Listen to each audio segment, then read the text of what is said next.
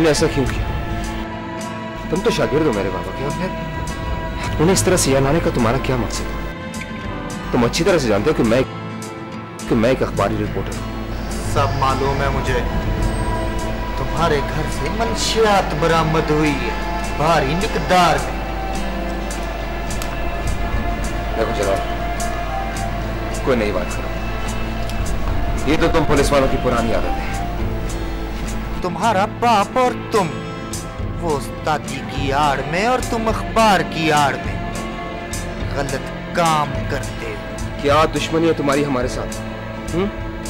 अगर तुम नालायक थे और मेरे बाबा ने तुम्हें तुम्हारे बाप के सामने मारा तो इसका मतलब ये हरगिज नहीं कि तुम आज पुलिस की वर्दी पहनकर मेरे बाबा की इस तरह से बेइज्जती करो। बकवास बंद कर।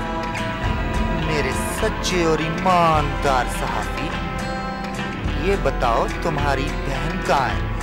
तुम्हारी गुड़िया आरज़ू। अपनी गंदी ज़ुबान से मेरी बहन का नाम भी मत लेना। तुम्हारा बाप अंदर हवालात में है। और अब तुम भी तैयारी कर लो अंदर जाने की। आखिर हो ना कम जात की और अपनी असलियत दिखा दी ना तुमने तुम्हारे बाप ने बयान दिया है कि तुम अपनी बीवी और बहन से गलत काम करवाते और बाप को मजबूर करते हो। कॉलेज में मनशियात बेचने पर। तुम शायद अखबार की ताकत से नावाकिफ हो जलाल तुम भूल रहे हो। तुम भूल रहे हो कि मैं एक अखबारी रिपोर्टर हूँ और ये एक जमहूरी मुल्क है। और मैं एक क्राइम रिपोर्टर ठीक कहते हो। शायद ये जमहूरी मुल्क। मगर तुम अब अपने बाप को लेके घर जाओ। कहीं ऐसा ना हो कि ये कच्चा पर्चा पक्का बन जाए। जाओ। बाबे को लेके घर जाओ।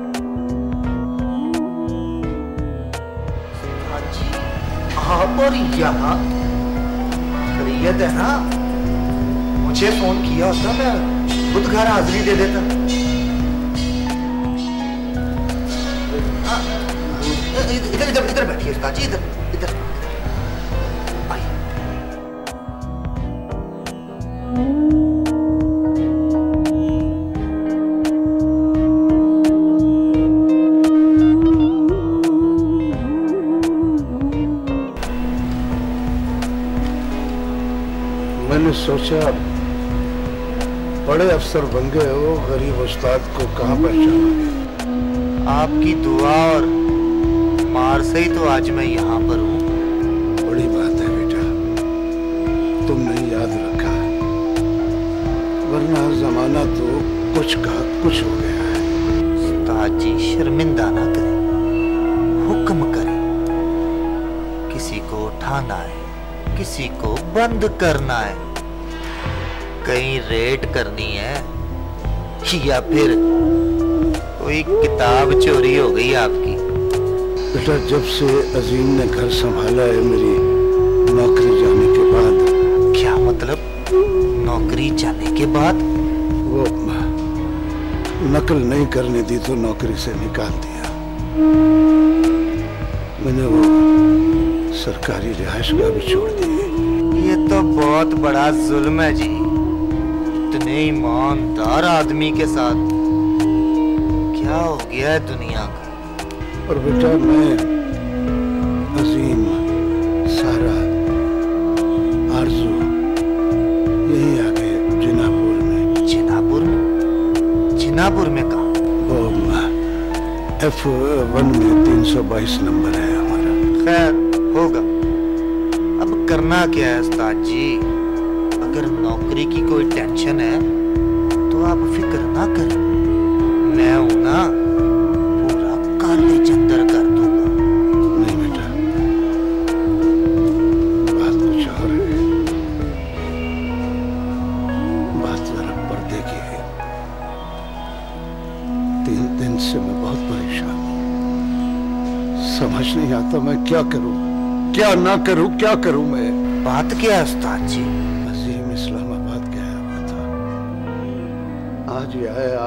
अस्पताल और फिर दफ्तर चला गया। मैं बात भी नहीं कर सकता। समझ नहीं आती मैं क्या करूँ, क्या ना करूँ। जी बात क्या है? वो आरज़ू। आरज़ू? क्या किसी लड़के ने आरज़ू को तंग किया है? नाम बताएँ। अभी यहाँ बुलाकर सीधा कर दूँगा। पिछले तीन दिन से आरज़ू घर नहीं आई है बेटा। मैंने तमाम अस्पताल, कॉलेज, सब जगह ढूंढा उससे रिश्तेदारों को खबर नहीं है। मैं मैं किससे पूछूँ? किससे कहूँ मैं? किसे समझाऊं मैं?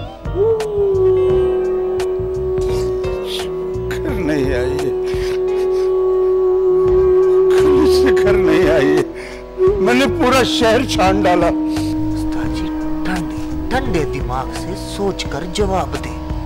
क्या किसी से कोई दुश्मनी या अगवा बराए तावान कहीं कोई बॉन्ड शॉन्ड तो नहीं लग गया आपका?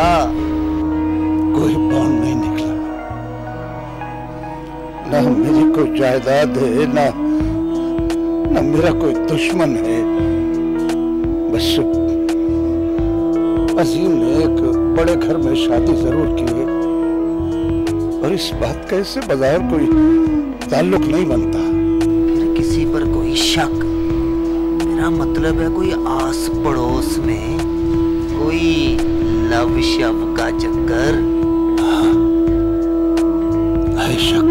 किस पर? जल्दी बताएँ। अभी देख लेते हैं बाबा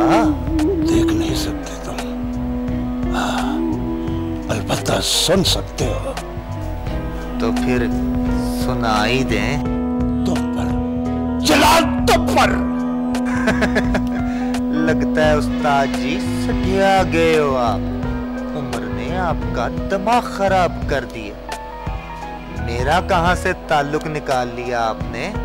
मेरे घर के सामने तुम्हारा घर है।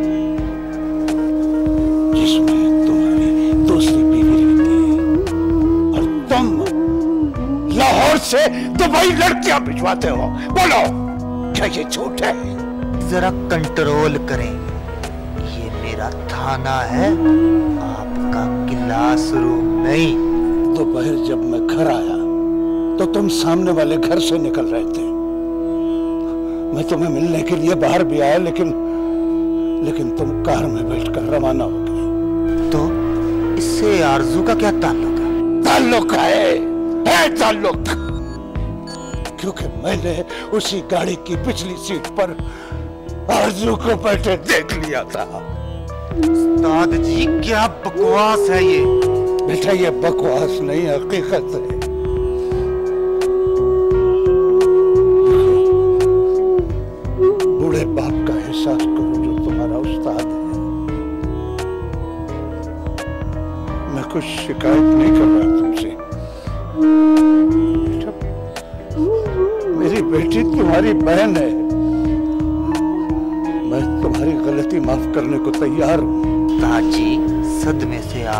दिमाग पर बुरा असर हुआ है। मैं अभी एफ़ आई आर काटता हूँ। मैं साथ हूँ आपके। ठीक है। ठीक है। दर्ज कर एफ़ आई आर मुझे तुम पर शक है। तुम पर, सिर्फ़ तुम पर। उस्ताद जी मैं अब बारह साल का लड़का नहीं, अट्ठाईस साल का जवान हूँ। ख्याल करें। अभी तक अजीम को कुछ पता नहीं है। बहुत बड़े अखबार में क्राइम रिपोर्टर है। बहुत ऊपर तक जाएगी बहुत ऊपर तक जाएगी बाबा जी जी कह के इज़्ज़त दे रहा हूँ। तुम तड़ी तड़ी तड़ी तड़ी दिए जा रहे हो। क्या करूँ तुम्हारा? आखिर तुमसे उस्ताद शगिर्द का रिश्ता जो है बस कर दे मुनाफिक इंसान बस कर दे। बस कर दे बहुत हो गया ड्रामा। ये सब कुछ मैंने अपने इन गुनाहगार आँखों से देखा है। कहा है मेरी बेटी? कहा है? कौन कहा है मेरी बेटी? पता पता क्या है मेरी बेटी? कहा है? खत्म हो गया ड्रामा उस्ताद शागिर्द का। अब ऐसी सजा दूँगा कि आने वाली नस्लें याद रखेंगी तेरी। तुम्हारी गुड़िया जलाल ने अगवा की है बेटा और मुझ पर इल्ज़ाम लगाया है कि मैं नशियात फरोश और तुम दलाल हो। क्या, क्या ये सच है बेटा? माफ़ कर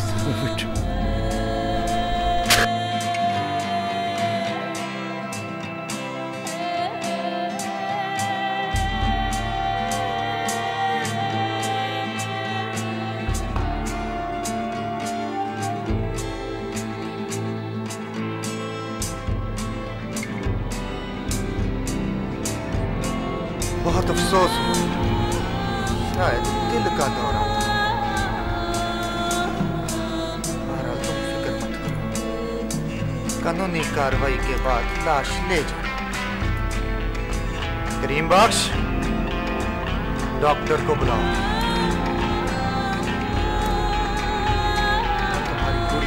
बहुत ख्याल बहुत जल्द उसको ढूंढ के तुम्हारे पास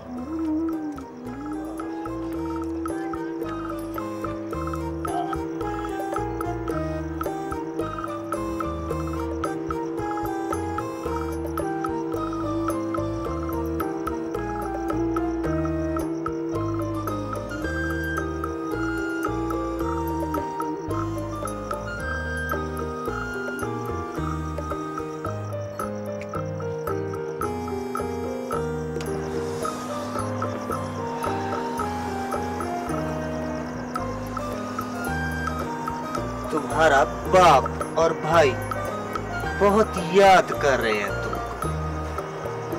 मुझे जाने दो। तुम मेरे भाई हो ना? मेरे पापा की शागिर्द हो। भाई?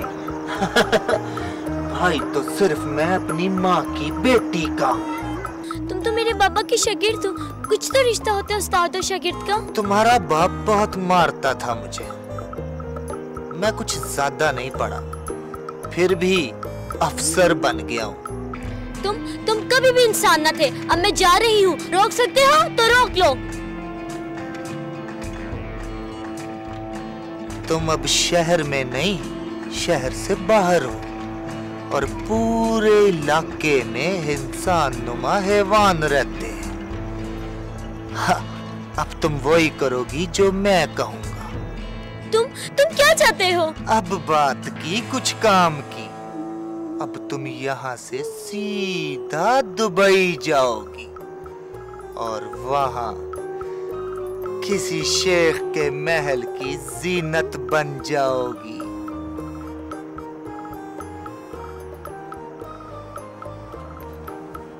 तुम जलाल नहीं, दलाल हो, दलाल!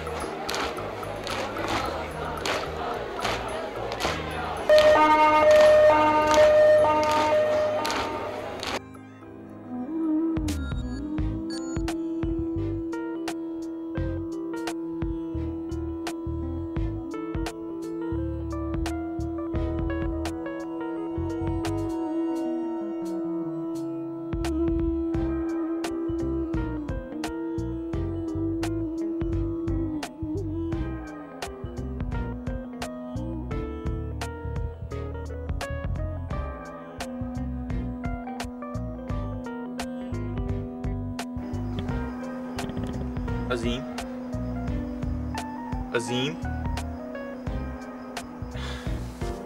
यार, देख अजीम देख सबर कर यार, हौसला कर। अब अब जो होना था वो तो हो गया यार।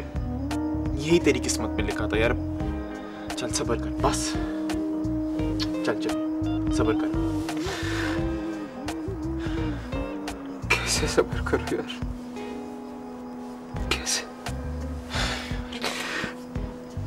मेरे बाबा कत्ल हो गए मेरी गुड़िया हो गई। मेरी बीवी अस्पताल में और तू तो कहते ना, सब्र कर।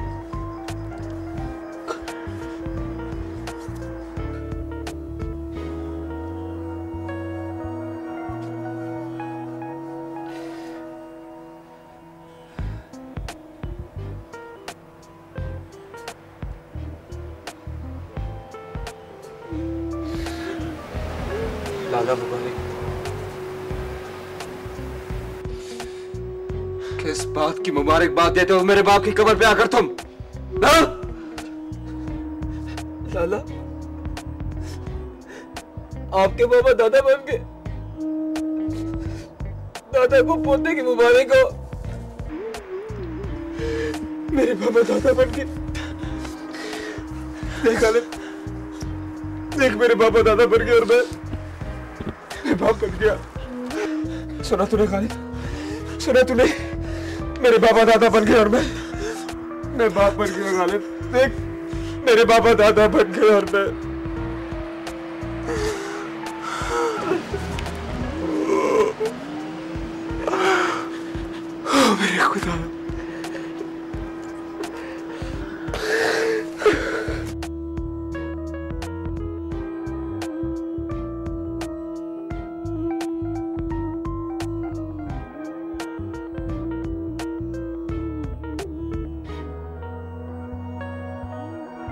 मुझे मेरे बाप की कब्र की कसम अपनी बहन की आबरू की कसम तब तक घर नहीं जाऊँगा जब तक मेरे बाप की रूह का सुकून नहीं मिल जाता। होश कर अजीम होश कर देख देख अजीम हम सब तेरे साथ हैं ठीक है? मैं भाभी अदनान देख हम सब तेरे साथ हैं ठीक है? बस तू सब्र कर चल चल मेरे साथ चल चल। नहीं नहीं मेरी बहन मेरी बहन मेरा रास्ता देख रही होगी। उसका भाई तो क्राइम रिपोर्टर है ना? हाँ? मेरा इंतज़ार कर रही होगी। मेरा इंतज़ार कर रही होगी।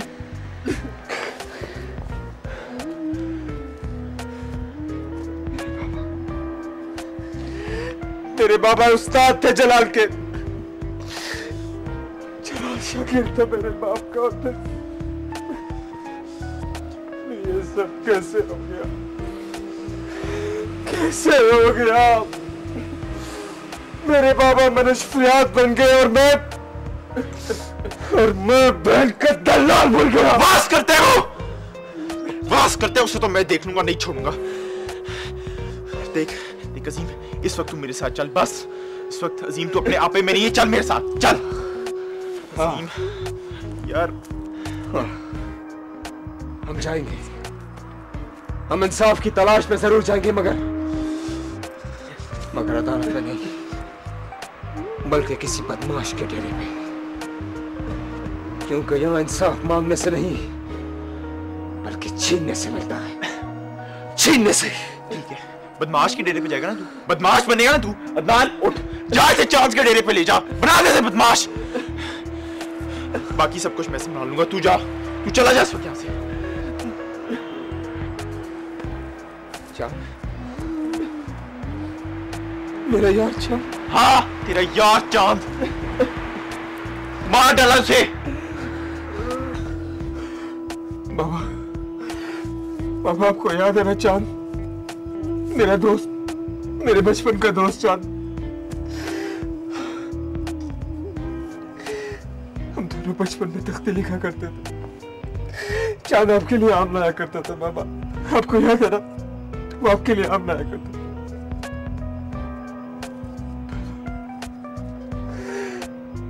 आप भी मुझे छोड़कर चाँद के पास चले गए।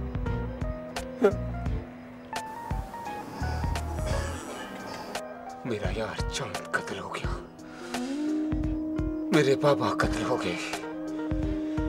और अब अब वसीम कत्ल होगा। हाँ वसीम कत्ल होगा। वो डेरा वो डेरा फिर से आबाद होगा। होगा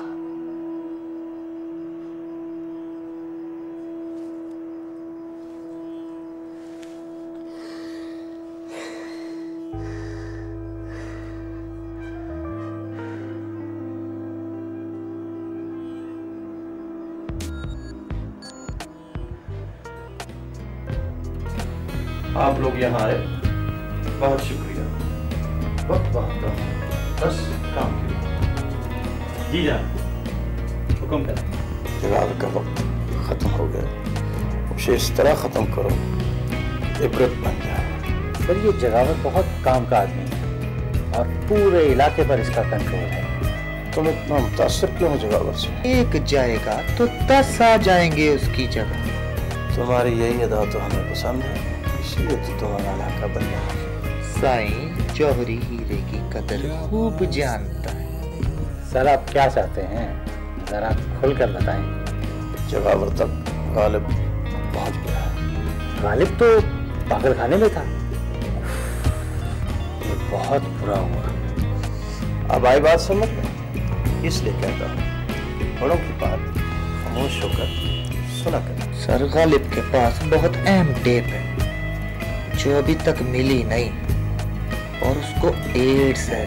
जलाल आरज़ू को तुम भूल रहे हो वो आरज़ू तो मर गई साईं खामोश दीवारों को भी कान हो सर इन हालात में मुझे फार्म हाउस जाना होगा जरा आराम करना चाहता हूँ चांदनी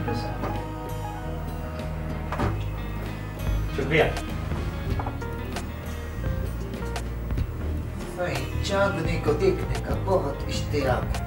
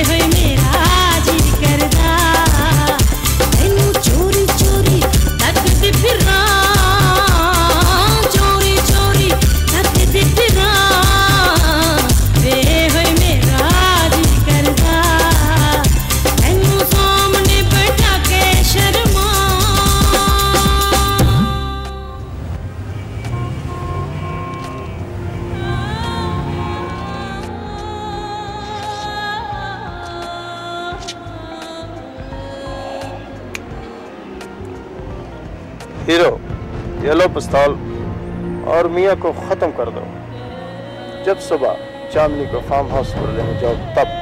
ओके? मगर हाँ साहब इसकी वजह सवाल नहीं करते। जो हम कहते हैं, वो करते हैं। उसके पर निकल आए हमसे सवाल करते हैं। हाँ साहब इसकी कीमत पाँच लाख तुम्हारे घर पहुँच जाएँगे। तो फिर समझे, काम तो हो गया।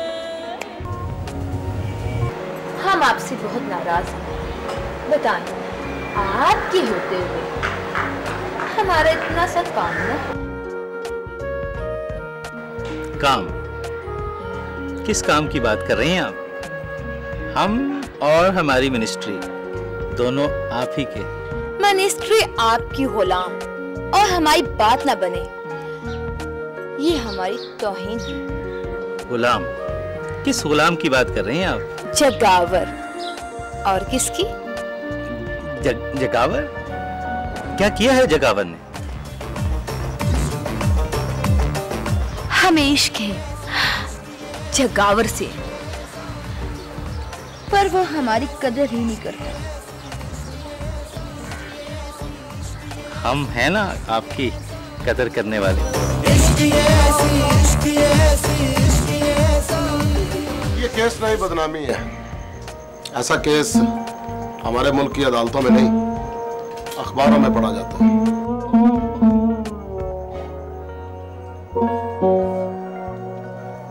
कुछ नहीं हो सकता। क्योंकि जगावर गालिब को ज़ुबान दे चुका है। लेकिन ये जगावर कौन है? हाँ। तो मेरा मतलब है कि मतलब मतलब क्या? यही अजीम साहब जगावर दादा। है ये सारा इलाका इन्हीं का है। ये यहाँ के बेताज बादशाह हैं। बैठ कर तुम वकील लोग बोलते बोलते बोलने के पैसे लेते हैं। तुम लोगों के लिए रुपए पैसे सब कुछ होता है। हुँ? और ज़िंदगी दौलत से आगे की चीज़। है कभी सोचा तुमने? So you still remember philosophy हाँ? आप तो सिर्फ़ हमारी मादी जरूरतें पूरी करते हैं। हमारे रूह की प्यास तो सिर्फ़ जगावर ही पूरी कर सकता है। ये रूह क्या चीज़ है? जिस्म की बात करो।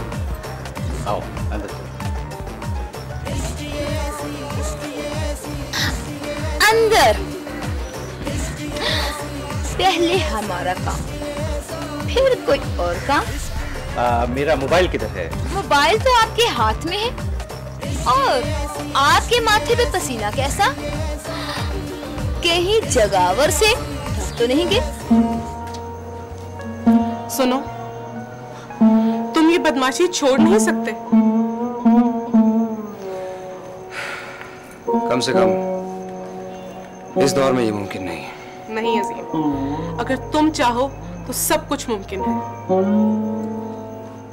बेहतर नहीं होगा कि हम कोई काम की बात कर लें।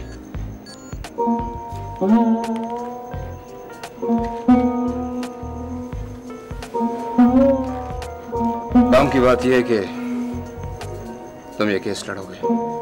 और अगर ये केस मैं लड़ूं तो? तुम ये केस नहीं लड़ सकते तुम एक औरत हो। लेकिन मैं एक वकील भी हूँ। मगर ये केस सिर्फ़ फरहान ही लड़ेगा।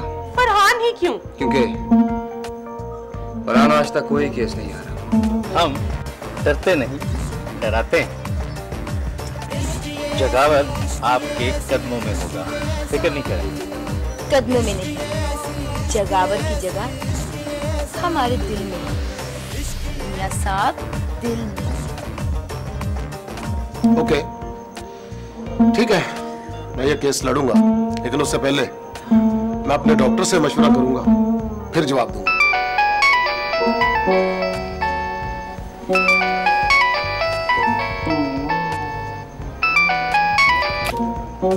हेलो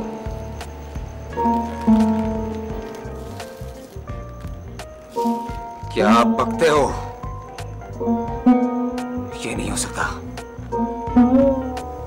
सुनो तुमसे तुम्हारी मौत उतनी ही दूर है जब तक तुम मुझसे फ़ोन पर बात कर रहे हो। फ़ोन बंद तुम्हारी साँसें बंद।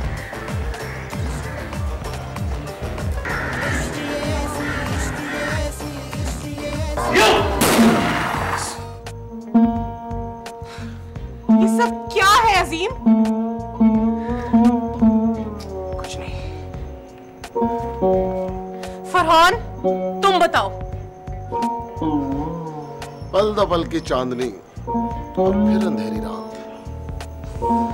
चलो, अदालत चलते हैं। देर हो रही है।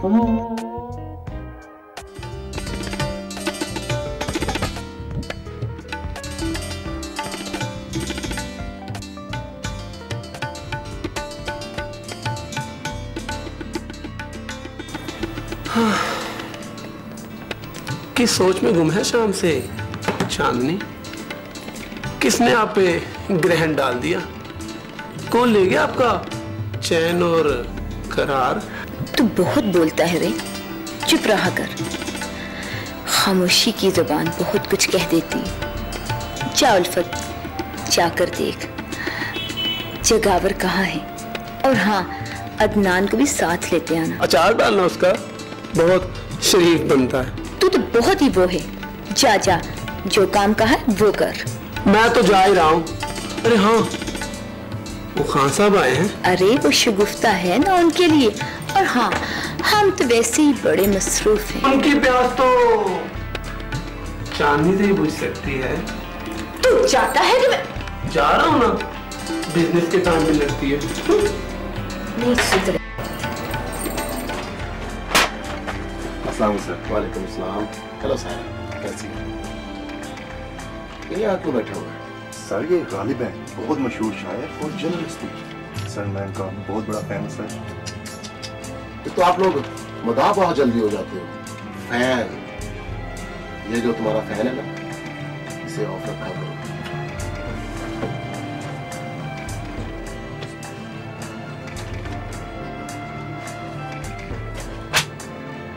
लोग कहते हैं गालिब का है अंदाजे बयां और। तुम यहाँ क्या कर रहे हो? आप ही ने तो बुलाया था। मैंने? क्यों? मेरे केस के लिए और किस लिए? मगर तुम टाइम लेकर आते। वक्त तब हमारे पास है कहाँ जनाब? ठीक है। तुम थोड़ी देर बैठो मैं अभी आता हूँ। ठीक है ठीक है आप बहुत मसरूफ होंगे लेकिन मेरी बात तो सुन लें। और वैसे भी अगर अजीम ना कहता तो मैं यहाँ कभी ना आता। ठीक है गालिब साहब। अगर अब आप आ ही गए तो शुरू हो जाइए। डॉक्टर क्या कहते हैं? कब तक ज़िंदा रहोगे अभी तो सिर्फ़ एच आई वी पॉजिटिव है। मौत मौत तो भी शायद दूर। है एच आई वी क्या ज़रूरत थी? सारे शहर को खबर करने की। जनाब मैं सिर्फ़ सच बोलता गालिब साहब अगर ये दुनिया सच पर चलने लगे ना तो सांस लेना भी मुश्किल हो जाए।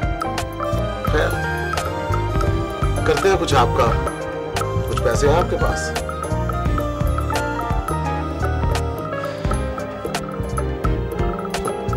आपका केस फ़ाइल करूँगा। वैसे केस कब तक फ़ाइल हो जाएगा? जब तक आप घर पहुँचेंगे केस फ़ाइल हो जाएगा दादा वायरस से जो जलाल है अकेला और सिविल कपड़ों में लिए आए आपसे कोई बात करना चाहता है?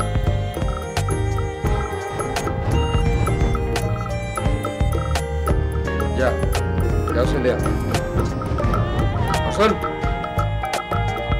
तू घर क्यों नहीं जाता नहीं दादा, मैं नहीं जाऊँगा। जब तक आप यहाँ आए मैं नहीं जाऊँगा। आखिर मेरा भी तो कोई फ़र्ज़ है।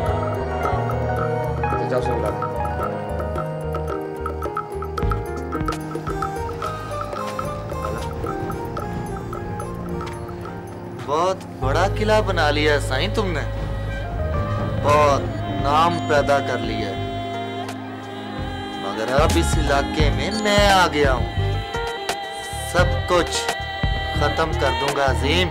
तू शायद भूल रहा है कि तू अपने थाने में नहीं बल्कि मेरे यार चाँद के डेरे पर है।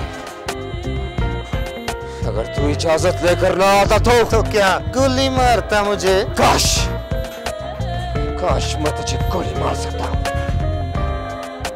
मगर क्या करूँ? अपनी रवायात का पाबंद हूँ मैं। अजीम खान एक एक सच्चा पठान है। और पठान घर आए हुए दुश्मन को भी अपना मेहमान मानते हैं। अच्छा तो मेहमान नवाज़ है तू? देख जगावर ये लकाब मेरा है। आने वाले छह महीने तक अब मैं यहाँ पर हूँ, इसलिए कोई गड़बड़ नहीं। और हाँ देख, ये हाँ ना में बात ना कर मेरे से। साफ़ बात कर।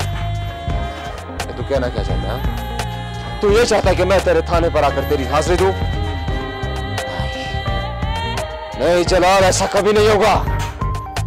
अजीम खान यहाँ कोई चूहा खाना या शराब खाना नहीं चलाता मसलूमों को इंसाफ दिलवाता है। देख। ये दुनिया है। वक्त आगे चलता है। इसलिए तुझे अब दो काम करने होंगे। नंबर एक, जो तू कमाता है, जैसे भी कमाता है, उसका पचास फ़ीसद हिस्सा मेरे घर पहुँच जाना चाहिए।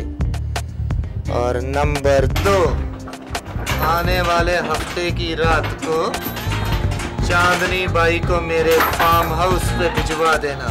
चलो!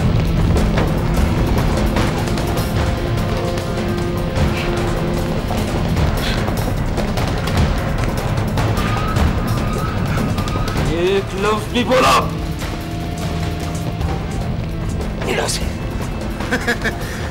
सही बहुत गरूर है तुम में। मुलाकात थाने में होगी तुमसे।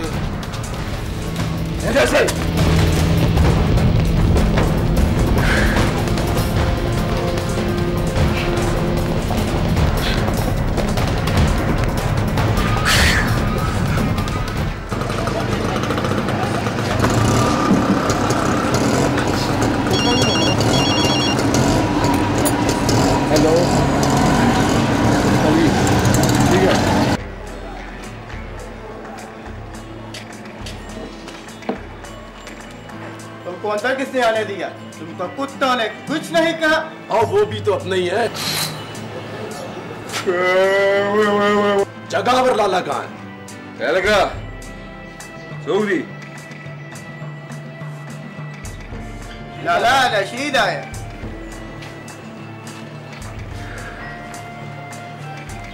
अरे क्या तुम लोगों ने सुबह सुबह शोर मचा रखा है?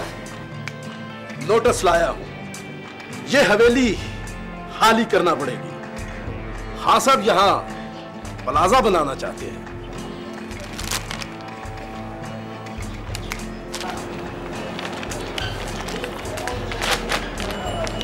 क्या पढ़ते हो? किसने भेजा ये नोटिस चांदनी बीबी ने। ये हवेली उनके नाम है।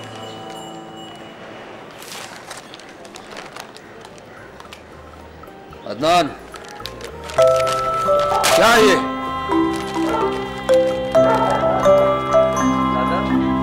चांदी बाजी ऐसा नहीं कर सकते बाजी। अदनान बहू नवायफ किसी की बाजी चाची नहीं होती। वो तो मशहूक होती है और सिर्फ़ रुपए की। समझे? सिर्फ़ रुपए की।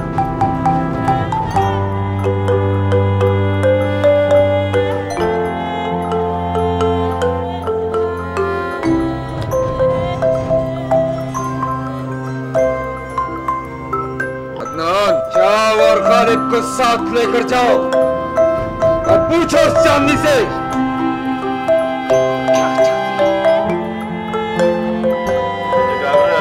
मैं उस औरत के घर नहीं जाता। तुम उसके घर जाओगे?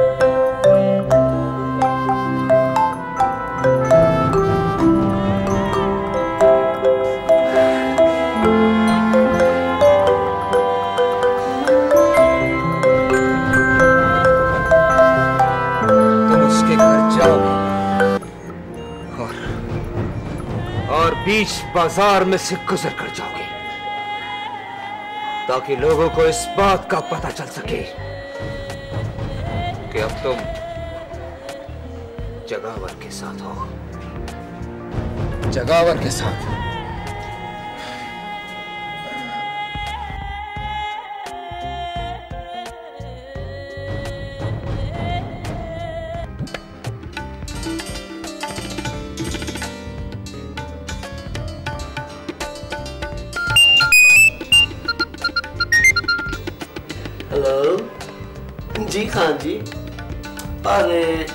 आपसे कहा ना कि आपका काम हो जाएगा। ये उल्फत का वादा है आपसे। कोई मज़ाक नहीं। अल्लाह।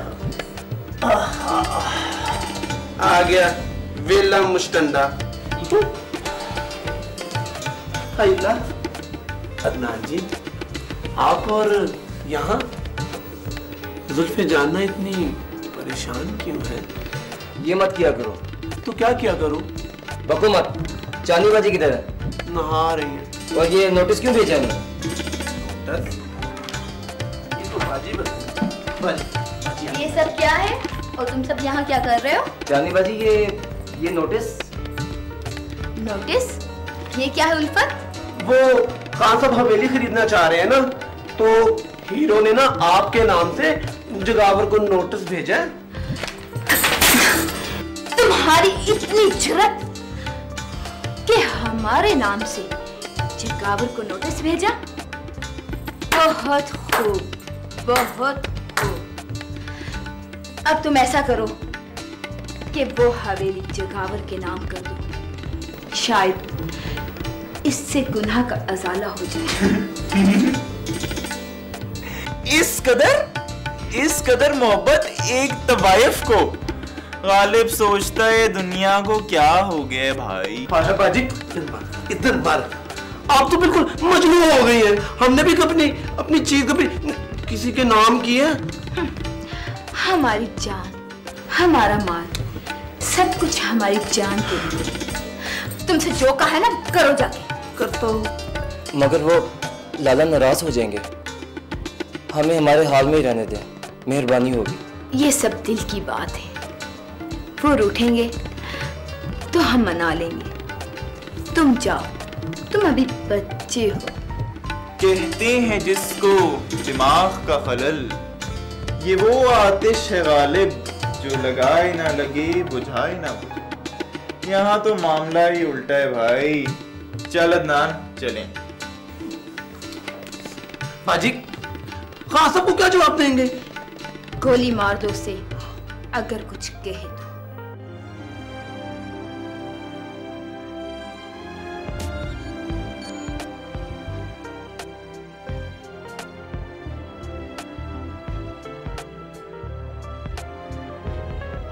हाँ जी हीरो जी। आप इस वक्त हमारे दफ्तर में खैरियत तो है। आप तो अक्सर शाम को निकलते हैं। अब क्या करे वकील बाबू? धंधा जो रात का हुआ। अली जलाल साहब आपके साथ हमारे दफ्तर में। कहीं मशूकें तो नहीं पकड़ी गई? जमानत के लिए आयो बाबा हमारे मशूक पकड़े नहीं जाते। पकड़े भी कैसे जाएँगे जनाब? खुद जो पकड़ना होता है। वो कहते हैं ना कि सैया ठहरे कोतवाल तो डर काहे? का अपना फरहान साहब काम की बात कर ले। नहीं यार मूड नहीं है। और वैसे भी तबीयत ठीक नहीं। एक बात तो बता आप किसी हकीम को जानते हैं? फरहान बाबू आप भी बादशाह लोग हैं। असल में बात ये है कि जलाल अली साहब आपसे मिलने के लिए खुद यहाँ तशरीफ़ लाए हैं। मेहरबानी जी नवाजिश कि ये हमारे दफ्तर में खुद चल कर आए हैं वरना हम हाजिर हो जाते एक तो तुम बोलते बहुत हो काले कौवे। ऐसे ही तो नहीं कहते ना वकीलों को कौवा। काम की बात करें। जगावर का वक्त पूरा हो गया और गालिब का केस अदालत तक न जाए। वक्त का तो पता नहीं। इतनी गालिब कहाँ से आ गया? बात बहुत ऊपर तक गई है बाबा। अब देखो ना एक अखबारी बंदा और ऊपर से शायर और मशहूर मारूफ उसको एड्स मेरा मतलब है ये एक इस्लामी मुल्क है ना। कानून अंग्रेज़ का। और जब अपनी बात हो तो मतलब इस्लामी हो जाता है। बहस करने या फजूल बात का कोई फ़ायदा नहीं। कीमत बोलो। अब दिया ना कीमत। एक सिर्फ़ एक पाकिस्तानी। खालिस पाकिस्तानी करेंसी वो भी कैश। डन। माल कितने बड़े हो गए ना? लड़ते रहा करो बाजी क्या है रे? वो जो उस दिन पार्टी में आपने नीली साड़ी के साथ हीरो का हार पहना था ना कसम से इतना प्यारा लग रहा था आप पे। अच्छा। हाँ मैं तो बार बार सदके जा रहा था। अच्छा तुझे तो मैं हमेशा अच्छी लगती हूँ मैं तो हमेशा कहता हूँ जब भी तैयार हुआ करे ना आप अपनी नज़र उतार लिया करें। हाँ। आ गया वेला मुस्टंडा। हीरो कितनी बार कहा है? दस्तक दे के आते हैं। तुम्हें तमीज नहीं आती? रशीद उर्फ़ हीरो दस्तक सिर्फ़ दिन को देता है रात को सिर्फ़ हिसाब देता है। हिसाब। चानी बाजी मुझे आपसे बात करना। हाय कितना अच्छा लगता है तुम्हारे मुँह से चांदनी बाजी अब एक काम करो। हमें चांदनी बाजी से चांदनी भाभी बना लो। बस यही ख्वाब लाला पूछ रहे थे आप चाहती क्या हैं? अगर आप ये मकान फरोख्त करना चाहती हैं तो हम खरीदने को तैयार हैं। हाँ ला बड़े पैसे आ गए हैं तेरे लाला के पास। उल्फत चुप रहा करो। हमने तो पहले ही सब कुछ उनके नाम कर रखा है। वो तोहफे में हवेली नहीं लेना चाहते। वहाँ प्लाजा बनाना चाहते हैं हाँ सब। वो हवेली खरीद कर। इसीलिए तो खाली करवाने का नोटिस आपके नाम से भेजा था।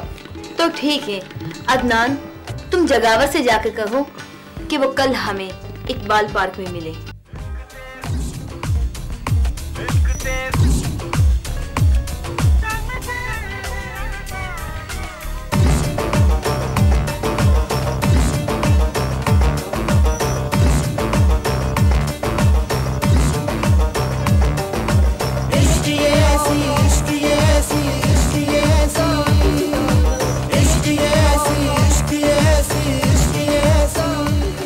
हो यहाँ पर। हम्म? क्या तुम नहीं जानती कि मेरे पीछे पुलिस पड़ी हुई है? हमें सब मालूम ही मिल जाओ हमने हवेली तुम्हारे नाम कर दी क्या कीमत है हवेली की? मैं खरीदने के लिए तैयार हूँ। हम्म, तुम तो एक शरीफ बदमाश हो। ना जुए का अड्डा ना टैक्स ना कोई और काम। तो फिर कहाँ से आया इतना माल? तुमसे मतलब क्यों कैसे कहा ये सब कैसे होता है? तुम्हें इससे कोई गरज नहीं होना चाहिए। ये दुनिया है। सब कुछ चलता है यहाँ पर। हमें मालूम है तुम खान के लिए काम करते हो। मगर अब तुम्हारा काम खत्म हो चुका है। मियाँ का कत्ल तुम्हारे हुक्म से नहीं खान के कहने पर कत्ल हुआ है। हम्म। तो मियाँ कत्ल हो गया है। तुम्हारे फ़ोन के बाद मियाँ कत्ल हो गया। और आखिरी फ़ोन भी तुम्हारा ही था। क्या मतलब? हम्म मियाँ साहब को एक बुरी आदत थी। हर कॉल रिकॉर्ड करने की। और हाँ तुमने मौत की बात की थी। वो मोबाइल फ़ोन कहाँ है? हमारे पास। ओह। इसका मतलब है कि तुम मुझे ब्लैकमेल करने आई हो। हम तो सिर्फ़ अपनी मोहब्बत का इजहार से मिले हैं। ये नामुमकिन है। क्योंकि जिस रास्ते पर मैं चल रहा हूँ वहाँ इश्क की कोई गुंजाइश नहीं अगर गुंजाइश है तो ठीक है। तो सिर्फ़ गोली की ज़ुबान में बात होगी।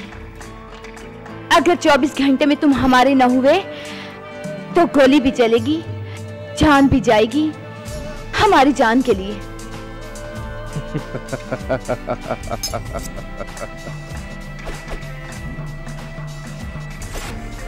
जगावर तुम्हारी धमकियों में आएगा नहीं। चौबीस घंटे कुछ ज़्यादा नहीं। इसे सिर्फ़ धमकी मत समझना।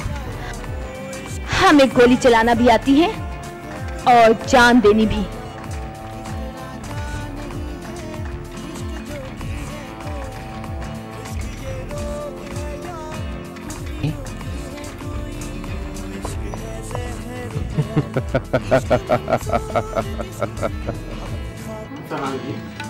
आपने तो यहाँ ही कम कर दिया बस काम भी तो बढ़ गया ना फुर्सत ही नहीं मिलती हमारे लिए भी थोड़ा सा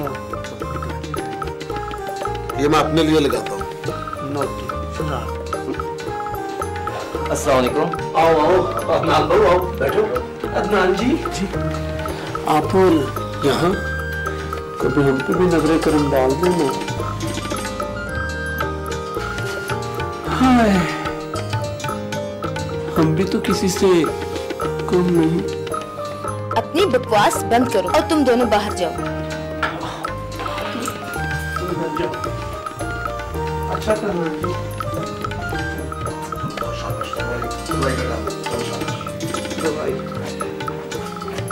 कहो अदनान कैसे आना हुआ? क्या कोई मोहब्बत का पैगाम लाए हो? जगावर का? नहीं फरहान भाई को बुलाया है। इनका मोबाइल ऑफ़। बाहर गाड़ी खड़ी है। जगावर लाला ने सोचा कि शायद यहाँ पर अरे तुम लोग सोचते बहुत हो। ये तुम्हारा काम नहीं है। ये हमारा काम है। और मैं जिस काम से यहाँ पे आया हूँ ना हो जाएगा। फ़िक्र मत करो। जो बात हमारी ज़ुबान से निकली है पूरी तो होगी। हमें कोई नहीं रोक सकता। तुम्हारा तो दिमाग खराब हो गया है। वो कहते हैं जिसे इश्क। अभी बारह घंटे बाकी हैं ज़िंदगी और मौत में। हाँ अगर जगावर ना माना तो गोली तो चलेगी जान भी जाएगी हमारी जान के पे दामे खुदकुशी का केस बन जाएगा। ज़िंदा बचेंगे तब ना। लाला मान गए हैं मगर सिर्फ़ तीन शरायत हैं उनकी। वो फरहान भाई आपको बताना चाहते हैं। इश्क भी किया तो शर्तों के साथ। प्यार में कोई शर्त नहीं होती। और ना ही हम कोई शर्त मानेंगे। बाबा बात करने में क्या हर्ज है? हर्ज है जानी तुम जगावर से कहो यहाँ आए। हमें अपनी मोहब्बत का यकीन दिलाए तब हमारा फैसला बदलेगा। वो यहाँ नहीं आएँगे। उसका तो बाप भी आएगा। वो ज़रूर आएगा और साथ मौलवी भी लाएगा। चाहे पंडित ले आओ हमें कोई एतराज़ नहीं। अरे पागल जो काम मौलवी आसानी से कर सकता है। पंडित को बुलाने की क्या ज़रूरत है? अदनान बहू तुम यहाँ बैठे बातें कर रहे हो तो तुम्हारे घर पुलिस दाखिल हो। गई पुलिस? और गालिब को गिरफ़्तार कर लिया।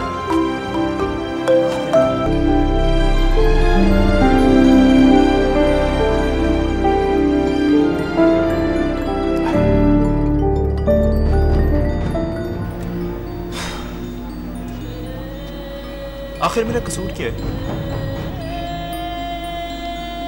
तुम्हारा कसूर है। सच? चोर बना के रख दिया मुझे। और इल्ज़ाम भी एक मामूली चोरी का कि मैंने अखबार के दफ्तर से टेप चुराई। और अब पूछ रहे कि टेप का है। मगर तुम्हें तो अखबार छोड़े हुए एक साल से ज़्यादा पैसा हो यार मगर प्रॉब्लम ये कि वो टेप्स मेरे नाम पे शुरू हुए थे यार। तो फिर चोरी कैसे? जनाब जो इंटरव्यू किए थे ना साल भर में वो तमाम के तमाम टेप्स गायब थे लेकिन ये बात तो वो कह रहे हैं मगर चोर तो मैं हूँ मुझसे पूछने के टेप्स का है? तुम फ़िक्र ना करो मैं फरहान से बात करता हूँ। मगर इलाका तो आपका है जगावर साहब। ऐसे जो आपकी बात नहीं मानेगा। ये काम बहुत ऊपर से हुआ है। मगर तुम फ़िक्र मत करो मैं तुम्हारी जमानत करवा लूँगा। हम्म? सिर्फ़ एक रात की तो बात है। और हाँ फरहान मेरी तरफ़ ही आ रहा है? फ़िक्र मत सब ठीक ठीक है। वो है ना मेरे साथ।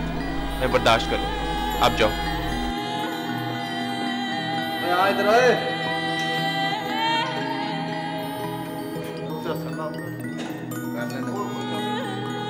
अरे आते क्या आते काट रही है।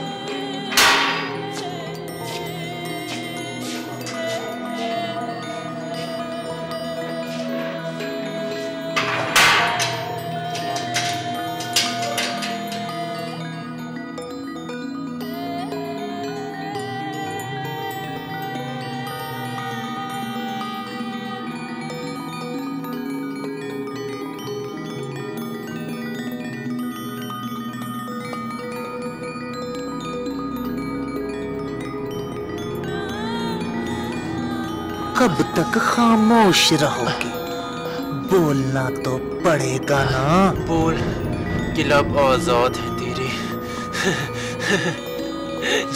जो तुम कहते हो मेरी समझ से बाहर और जो मैं कहता हूँ तेरी समझ से बाहर। खैर पूछ क्या पूछता है? टेप कहाँ है? तेरे घर में। बकवास बंद कर कुत्ते। अभी भौंकेगा तू। बहुत से कर। और वैसे भी मैं एक जर्नलिस्ट हूँ। जर्नलिस्ट बहुत प्यार से पूछता हूँ। टेप कहाँ है? तेरी बेडरूम में तेरी बीवी के पास।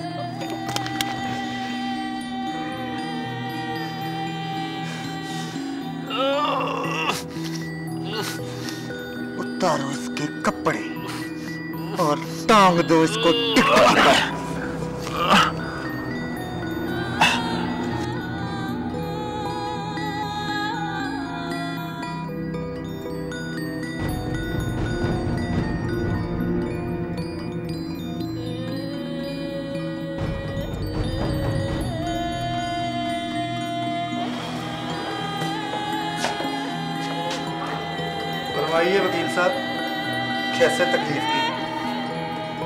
की सिग्नेचर चाहिए थे वकालतनामे पर।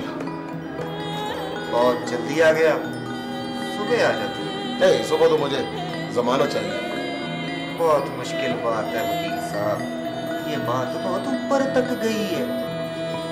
बेहतर है आप इस आग में मत कूद। देखिए मैं यहाँ पर सिग्नेचर लेने आया हूँ लेक्चर लेने के लिए नहीं आया। आप मुझे बताएँ कि आप मुझे अंदर जाने की इजाज़त देते हैं? या मैं किसी बड़े अफसर को लेके आऊँ? बेहतर है आप जाओ और अब किसी बड़े अफसर को लेकर आना। वक्त बहुत कम है।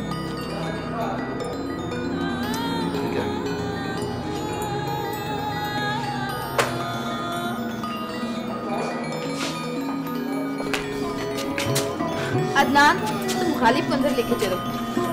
मैं जरा जगावर से मिलती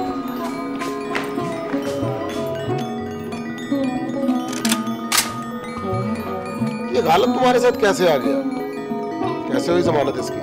जमानत उसकी होती है वकील साहब जिसका केस हुआ। हो। बगैर पर्चे की जमानत कैसे? क्या मतलब पर्चा नहीं हुआ था? था मगर कच्चा। आपने शायद गौर नहीं की।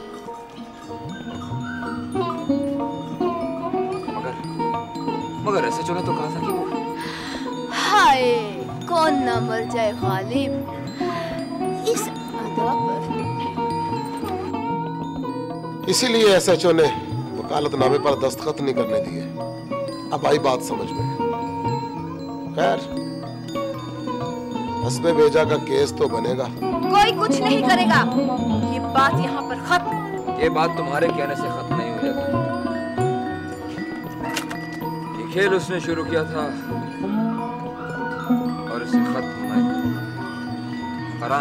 तुम केस तैयार करो मदई सुस्त गवाह चुस्त पहले गालिब से पूछ लो वो क्या चाहता है जगावर पूछता नहीं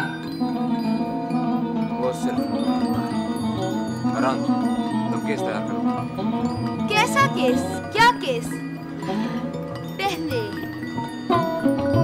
इस केस को तो सुलझाओ जानी तुम्हारा क्या केस है चांदनी बोलो वकील बाबू तुम हमें जानते हो। खामोश। देख रहे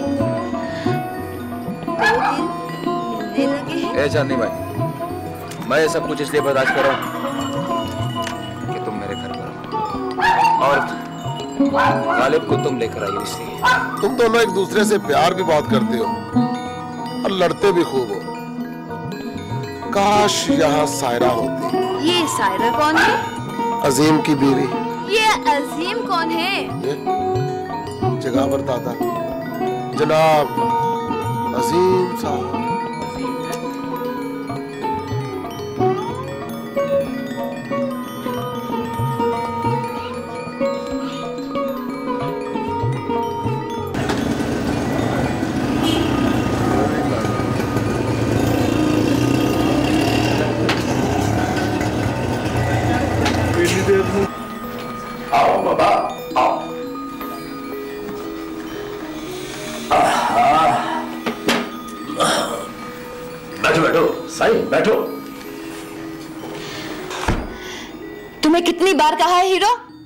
दरवाजे पर दस्तक देकर आया करो। मैं भी तो यही कहता हूँ।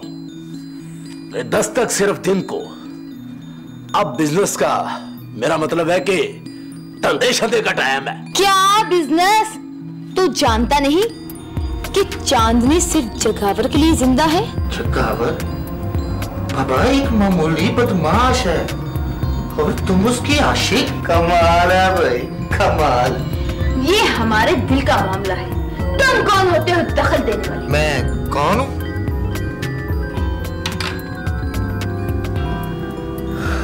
तुमको नहीं मालूम कि मैं कौन हूँ। चांदनी बीबी मैं बताता हूँ।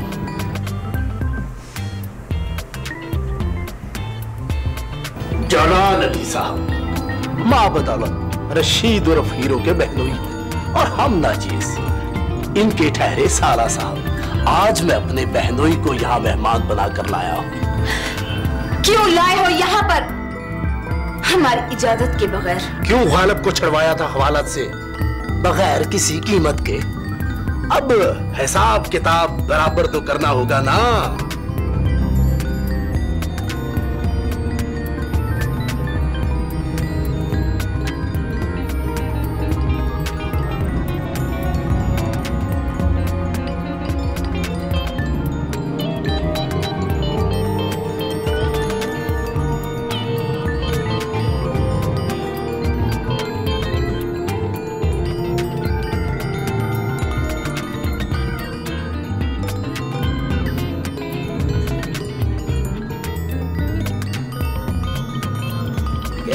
जलाल अली साहब आज चांदी बीबी के मेहमान ठहरे। चाँद ने सिर्फ़ जग्गावर की है। तो क्या हम कासा पकड़ ले हाथ में मर कर याद या चांदी बीबी? आप अपना काम करो। ये रशीद उर्फ़ हीरो अब जा रहा है। हाँ। अरे रशीदे पर तुमने तो बोला था ये मशहूर तुम्हारे। ऑर्डर पर चलती है। पर यह कहानी तो कुछ और ही है। क्या चाहते हो तुम? अच्छा हाँ बाबा ये बोतल ये गुलाब के फूल और आधी रात को यहाँ। तुम्हें नहीं मालूम कि मैं क्या चाहता हूँ। तुम जितनी चाहो उतनी रकम ले लो मगर हमें भूल जाओ। ना बाबा ना। तुम भूलने की चीज़ नहीं। जाने की चीज़ हो वो भी नमक मिर्च डाल के। हम तुम्हारे बेहद मशहूर हैं मगर जो तुम चाहते हो वो नहीं हो सकता। बेहतर यही है कि तुम यहाँ चले जाओ। ठीक है ठीक है बाबा ठीक है चले जाते हैं। मगर एक बात याद रखना अब ऐसी रख दबाऊँगा कि नंगे पाँव नंगे सर सरकार खुद ही दौड़ते आएँगे।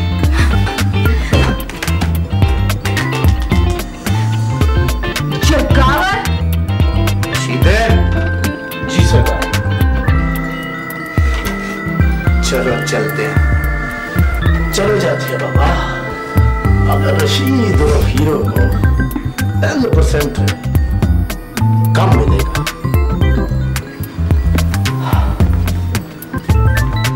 ऐसे ये तूने अच्छा नहीं किया कभी कभी सच बोलना बहुत ज़रूरी होता है। मेरे जख्म ताज़ा कर दिए तूने। अभी वक्त भी तो ज़्यादा नहीं हुआ।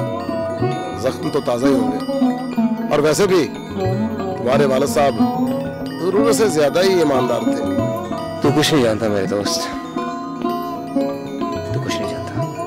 नाले से जहर खा लिया और ये मान ही रहा।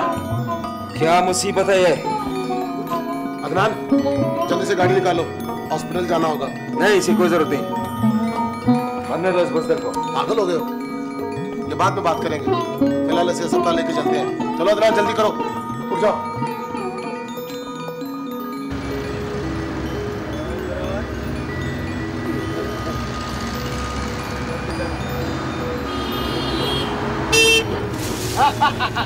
ハハハハハ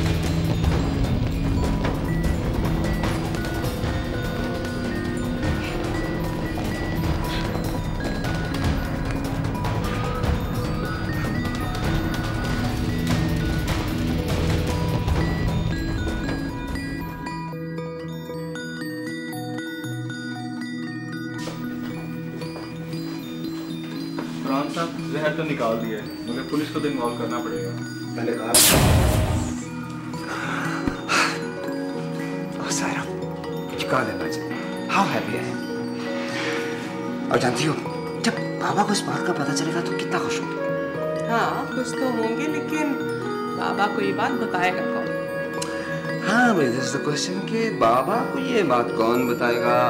अरे है ना उनका लाडला? कौन? अरे भाई अदनान। हाँ? Um, Huh? I can't believe this हूँ। भाई इस तरह तो होता है इस तरह के कामों में। अब क्यों उदास फिरती हो सर्दियों की शामों में? माय गॉड भाई ये तो शेर बन गया। अरे भाई कम ऑन प्रेज मी दाद दीजिए जी जी वाह वाह वो अलग बात है क्या टैलेंट तो बहुत है लेकिन आप कदर नहीं करती। वैसे अगर आप कहें तो इस मौके पर एक और शेर भी है मेरे पास। जी नहीं जी हज़ारों जी साल आप डॉक्टर सरदार नहीं हाथ से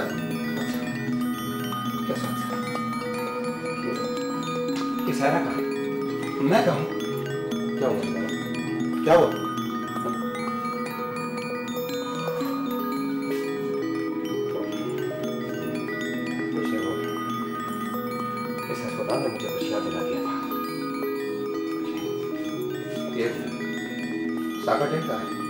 डेरे पर है गालिब के लिए जश्न का इंतज़ाम कर रहे हैं। क्या बकवास कर रहा है तू? हाँ लाला वो ऐसे को उठा रहा है और कहता है कि उस पर रूला फेरेगा उसके बाद जश्न करेगा मुजरा करेगा। उसका दिमाग तो खराब नहीं हो गया। अभी पूछता उसको।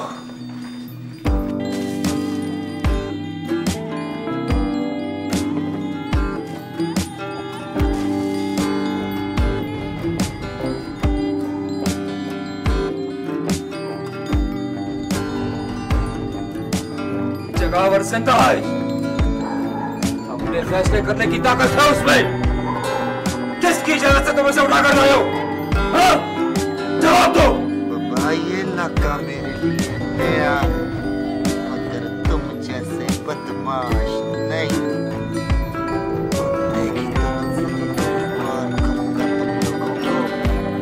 जलाल अली नाम है मेरा।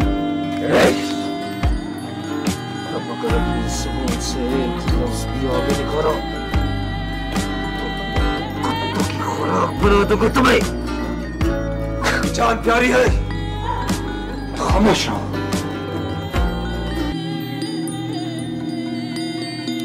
तुम लोग, कानून को हाथ में मत लो।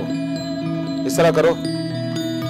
इसके हाथ, पैर और ज़ुबान काटकर गंदे नाले में फेंक दो, क्योंकि ये इंसान नहीं, जानवर है।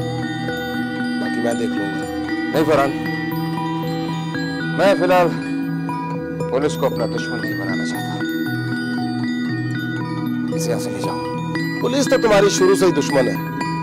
और फिर गालिब का केस भी तो कम नहीं। बात बहुत ऊपर तक है। इसे मार दो। छोड़ोगे तो बहुत मुश्किल होगी। नहीं फरहान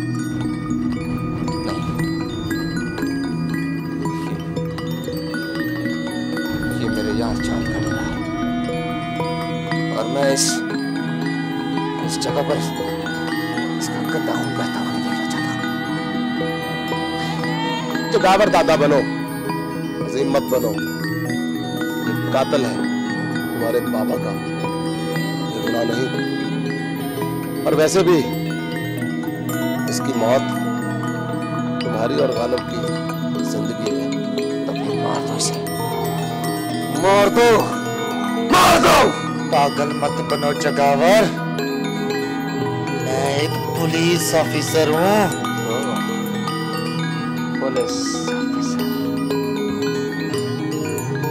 ये पुलिस ऑफिसर क्या चाहता है? मैं सु- सुलह के लिए तैयार हूँ।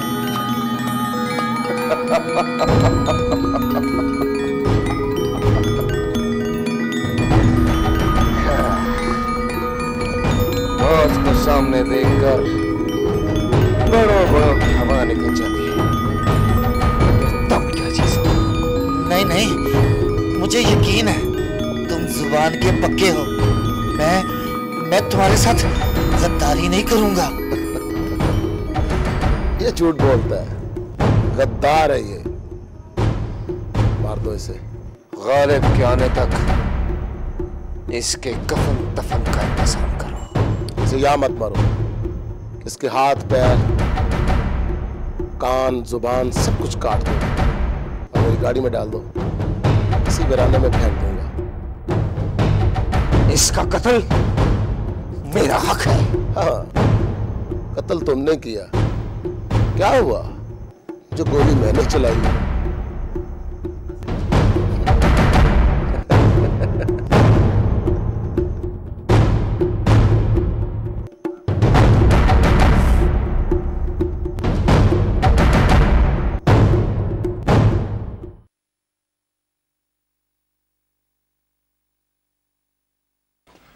सर, वो गालिब साहब आए हैं।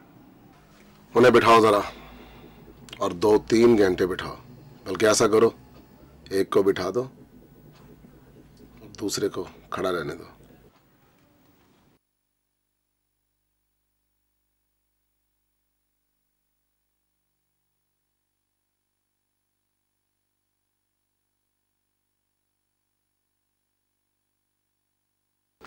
तुम दोनों यहाँ क्या कर रहे हो? मैं ये पूछने आया था कि अदालत में मेरे केस की तारीख क्या पड़ी है? फ़िलहाल तो कुछ सबूत चाहिए ताकि तुम्हारा केस और मज़बूत हो सके। कैसे सबूत? यही कि कब से हो रोजनामा महाज में और क्यों निकाले गए? और तुम्हारे पास कुछ टॉप सीक्रेट्स भी हैं।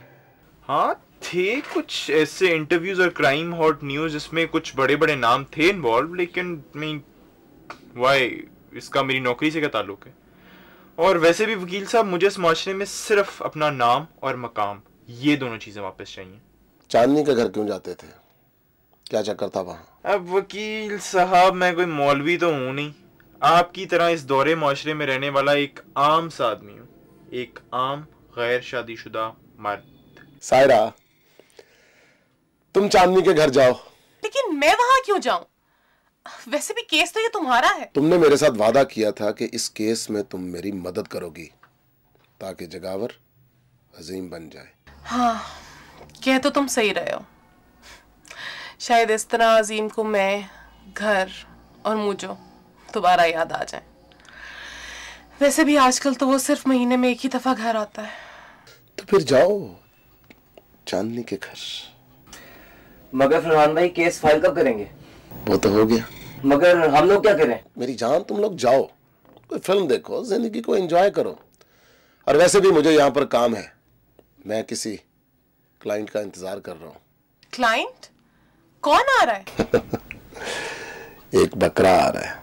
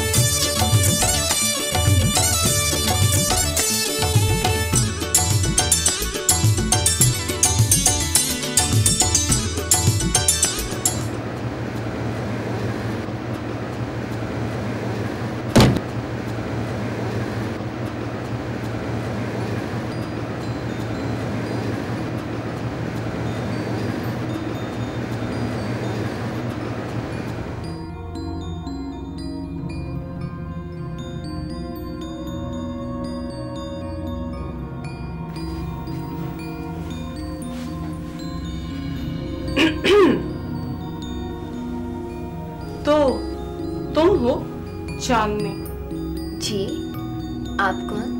प्लीज़ बैठे। कैसे आना हुआ?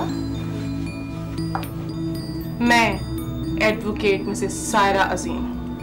तो तू है जगावर की रन जिसे उसने छोड़ दिया है। हम सिर्फ़ अलहदा हुए हैं। छोड़ा नहीं एक दूसरे को। क्यों? एक दूसरे से प्यार नहीं करते? जो अलहदा रहते हो या फिर तेरे को इश्क है? उस फरहान से। जबान संभाल के। बहुत ही बदतमीज औरत हो तुम। फरहान सिर्फ़ मेरा साथी वकील और एक दोस्त है। खैर मैं यहाँ पे तुमसे खालिद के केस के सिलसिले में मिलने आई थी और तुमने अपनी बकवास शुरू कर दी है। हमें तुमसे कोई बात नहीं करनी। वैसे भी तुम हमारी सौतन हो। और हमें इश्क है। जगावर से। और नफरत है तुमसे नफरत। मैं किसी जगावर को नहीं जानती। जब तक अजीम जगावर से दोबारा अजीम नहीं बन जाता मैं उसे कभी माफ़ नहीं करूँगी। वैसे तुम्हारा झगड़ा क्या है जगावर से? खैर हमें क्या? तुम एक बात बताओ सायरा जी। तुम तलाक लेने के पैसे लोगी?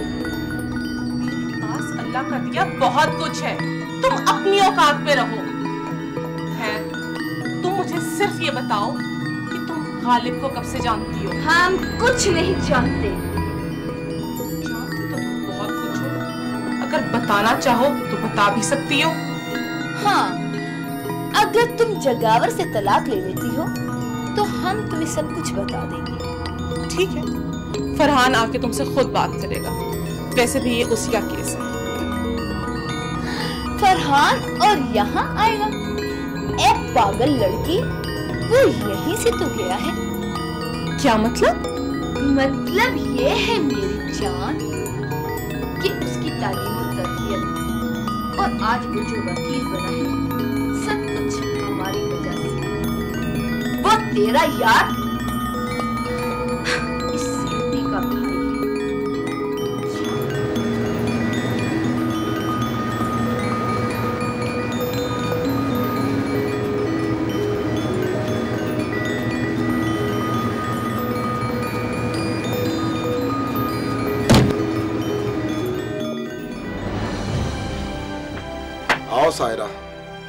इस वक्त यहाँ? खैरियत तो है ना? कुछ परेशान दिखाई दे रही है। तुम्हारे बाप का नाम क्या है? क्यों? क्या हुआ? मैंने तुमसे पूछा है कि तुम्हारे बाप का नाम क्या है।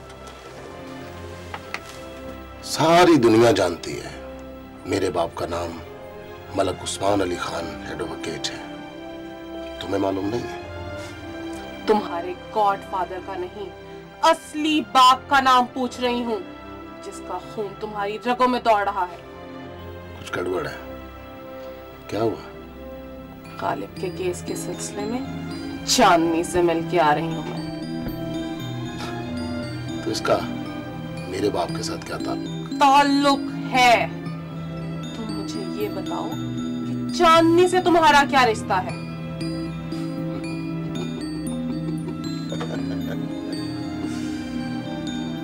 वो मेरे बाप की औलाद है। नाजायज औलाद। मेरे बाप की वजह से वो मेरी और तुम्हारी ये तालीम और तरबियत भी चांदनी बाई के पैसे से हुई है। जब चांदनी की माँ पर हमारे बाप ने सब कुछ लौटा दिया फिर वहीं के होके रह गए। हम जरा छोटे थे और चांदनी जवान। उसने हमारी तालीम पर कुछ खर्च किया। हमने भी बड़ी मेहनत की। तो तुम चांदनी के भाई तुमने मुझे बताया क्यों नहीं? ये बात बताने वाली है। हाँ है। बिल्कुल बताने वाली। क्योंकि तुम अच्छी तरह जानते हो कि तुम्हारी वो चांदनी बाई अजीम से प्यार करती है। मेरे अजीम से। अजीम से नहीं जगावर से। और जगावर से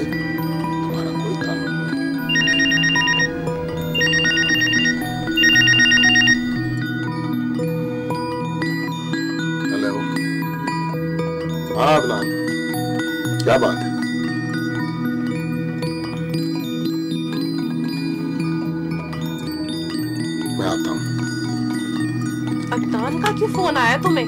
खैरियत तो है। पुलिस ने जगावर को गिरफ़्तार कर लिया है।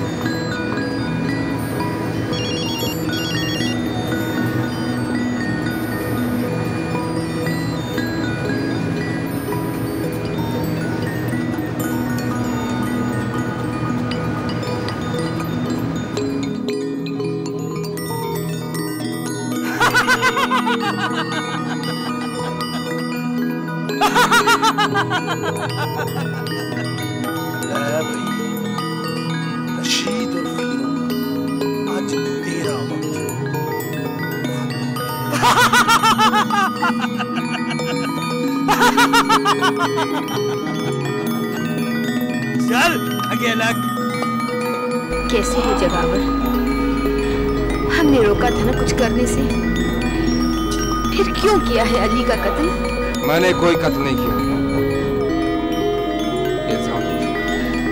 हमें सब मालूम है मगर तुम फ़िक्र मत करो।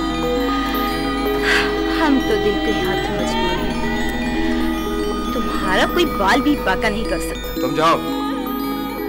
फरहान अभी आता ही होगा। अदालत से मेरी जमानत करवा। ये पुलिस वाले के कत्ल का मामला है। इसलिए काम थोड़ा खराब है। और जमानत इसीलिए नहीं मिल रही। क्यों? क्या पुलिस को लाश मिल गई? नहीं। कोई सरकारी गवाह है जो हमें तंग कर रहा है। कौन है वो? हीरो उर्फ़ रशीद मलिक जो इस वक्त हमारे फार्म हाउस पे कैद है। कैद है? मगर क्यों? क्योंकि वो एक दलाल है। दलाल दलाल।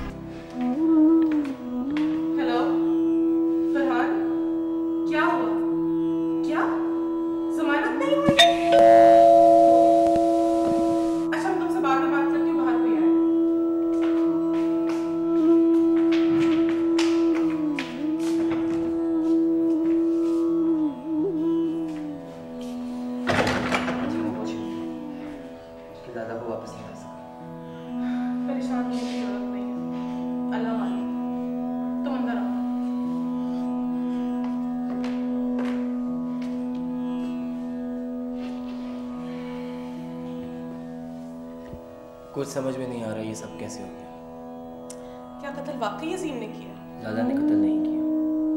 लेकिन हुआ तो डेरे पे ही है ना। हाँ हुआ है। वो एक गलत आदमी था। गालिब पर तशद किया था उसने। वैसे भी लाला का दुश्मन था वो। दुश्मन। अजीम की तो सारी दुनिया दुश्मन है। नहीं बाजी ये बात नहीं है। गालिब कौन है?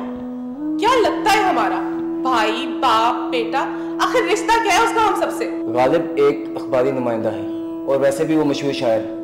उसे अखबार से निकाला गया है क्योंकि वो बीमार है। अजीम डॉक्टर है या? बाजी आप खुद फैसला करें। गालिब को एड्स है। सब पता है। बाजी परेशान ना हो। मैं हूँ ना आपके साथ। तुम तो हो मगर ये सब हो क्या रहा है आखिर? ज़िंदगी है और ज़िंदगी ऐसे ही होती है। तो मुझे ये बताओ एसएचओ ने क्या किया आप वकील हैं। आप क्यों नहीं जाती मेरे साथ थाने? मैं मामू को फ़ोन करती हूँ। आखिर वो किस दिन काम आएँगे? मामू को फ़ोन करना क्या ठीक रहेगा?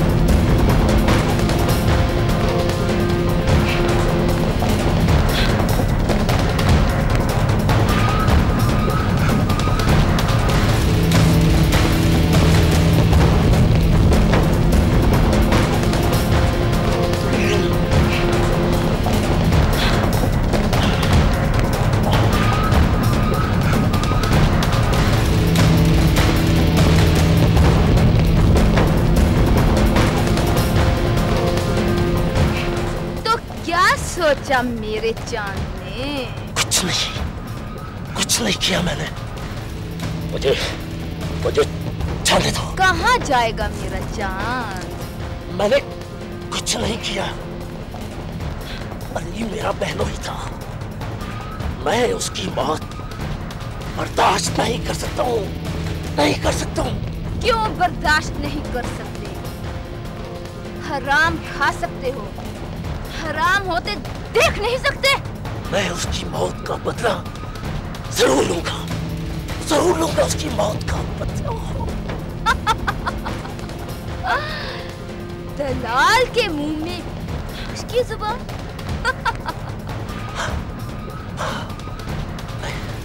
मैं अपनी बहन के लिए बदमाश हूँ। बदमाश हूँ मैं। इज्जतों का सौदा करने वाला बहन के रिश्ते को पहचानने लगा है। दलाल इंसान नहीं होते? हमारे पास दिल नहीं होता। सब कुछ होता है। सब कुछ होता है। मगर हम दलाल लोग। हालात से मजबूर होते हैं। मजबूर होते हैं। तुम और तुम्हारे हालात सब मालूम है हमें। तुम जगावर को भूल जाओ। गोली साके किन ने मारी थी। जगावर जगावर ने नहीं। हुक्म तो जगावर का ही था ना। वो मेरा हुक्म था मुन्ने। गालिब का बदला लेने के लिए। क्यों? क्यों? क्यों? इसलिए कि उसका वक्त खत्म हो गया था। मगर अब तुम्हारा वक्त आ चुका है।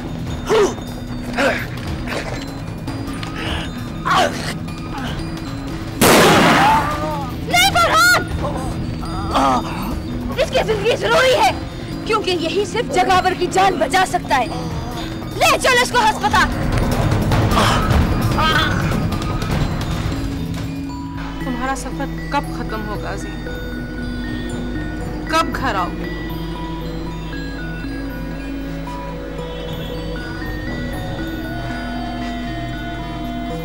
सर तो कब का टूट चुका अब तो सिर्फ़ मकान बाकी लाला हम सब बहुत परेशान हैं। जैसे ही आपकी जमानत होगी हम सब घर जाएँगे। सायरा। तुम तो वकील फिर तुमने मामू को फ़ोन क्यों किया? उन्हें फ़ोन करना ज़रूरी था। वो एक मिनिस्टर है। तुम्हें यहाँ से घर ले जाने में सिर्फ़ वो ही हमारी मदद कर सकते हैं। मगर तुम शायद भूल रही हो सायरा कि ये किसी आम आदमी का कत्ल नहीं है। सच बताओ जी। कत्ल वाकई तुमने किया? उसने मेरे बाबा को कत्ल किया। मेरे घर को बर्बाद किया मुझे बर्बाद किया मेरा सुख चैन छीन लिया उसने। क्या गम सिर्फ़ तुम्हारा है? मेरा नहीं? आरज़ू और बाबा के साथ मेरा कोई रिश्ता नहीं। मैं भी इंसान हूँ अजीम। मैंने भी ये गम महसूस किया है। मैंने भी सहा है सब कुछ। क्या तुम क्या तुम मुझे और मुझे को भूल गए हो? कुछ याद नहीं तुम्हें। क्या क्या बाबा और आरज़ू ही तुम्हारे लिए सब कुछ थे? मैं और मुझे कुछ नहीं? हमारा तुमसे कोई रिश्ता नहीं। मैं मामू को फ़ोन कर रही हूँ। तुम मुझसे सब कुछ सच सच कह देना। ये खून तुमने नहीं किया। देखो सायरा मेरी बात सुनो तुम तुम जज्बाती बातें प्लीज़। अजीम प्लीज़ फ़ोन दो ना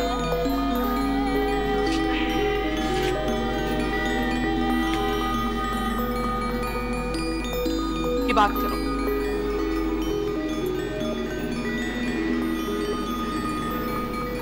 हेलो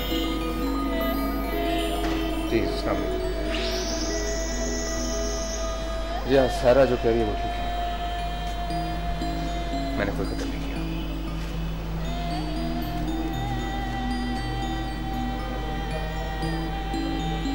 जी ठीक है।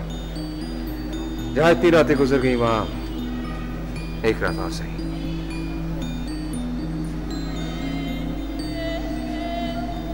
क्या कह रहे थे लाला ये फ़ोन तुम अपने पास ही रखो। मैंने अथॉरिटी से बात कर ली है तुम्हें शायद ज़रूरत पड़े।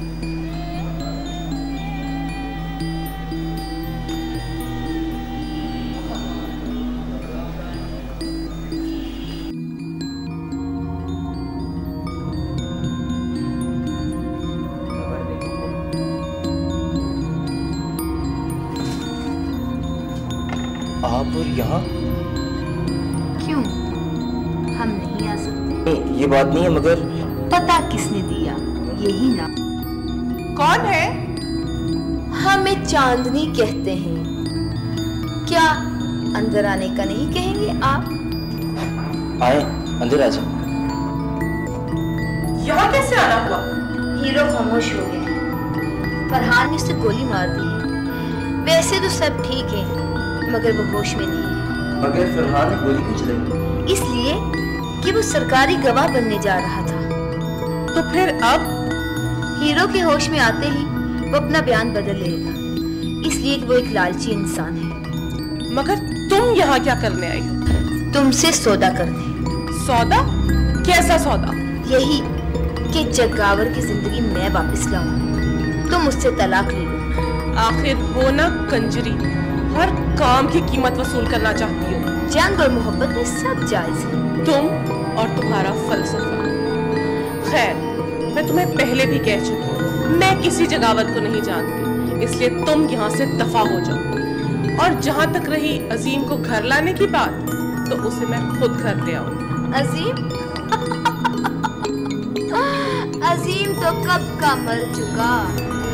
कभी घर वापस नहीं आएगा चांदनी बाजी कुछ तो ख्याल करें। आप तो सच्चा इश्क करती हैं लाला से। रंडी को यहाँ से उठा ना लेती? ज़ुबान संभाल दे चांदी भाई। ये मेरी बहन है। बहन है ये मेरी।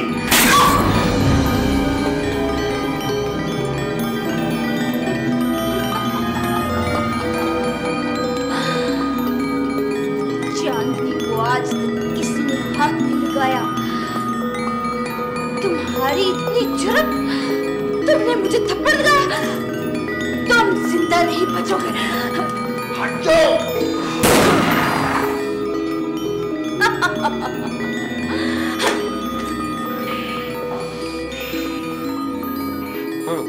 शाबाश।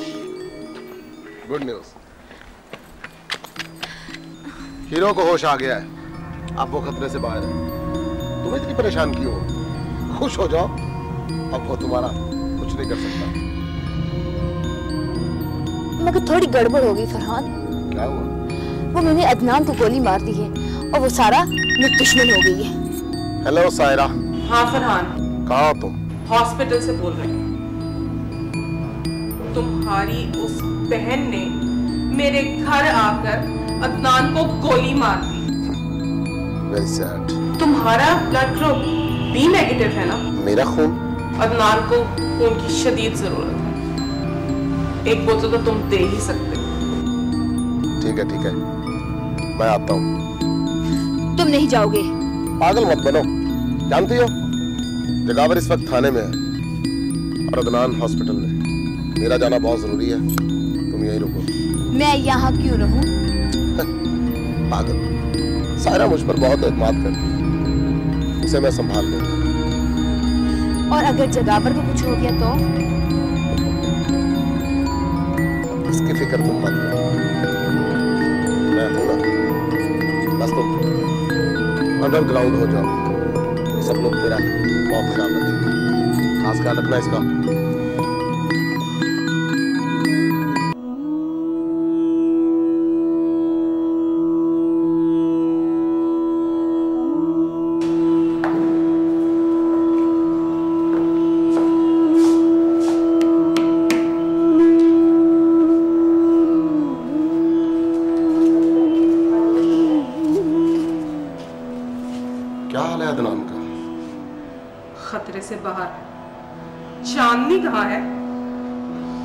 वो शुरू से ही ऐसी है। मेरा मतलब है जिद्दी और अनापसंद। वो तो मैं भी हूँ। मदद भी तो कर रही है। सौदा करने आई थी मुझसे। सौदा? अच्छा। तो कर लेना था सौदा। जगावर तो गया। क्या मतलब? मेरा मतलब है कि बात बहुत ऊपर तक चली गई है। अब जगावर मेरा मतलब है अजीम वापस नहीं आ सकता। बेगुनाह है वो। या सजा बेगुनाहों ही को तो मिलती है। जब उसने कोई जुर्म ही नहीं किया किसी और ने कत्ल किया है तो फिर सजा कैसी? तुम्हें मालूम है कि कत्ल हुआ है? हाँ? लाश तो मिली ही नहीं ये सब क्या हो रहा है बहुत बड़ा चक्कर है।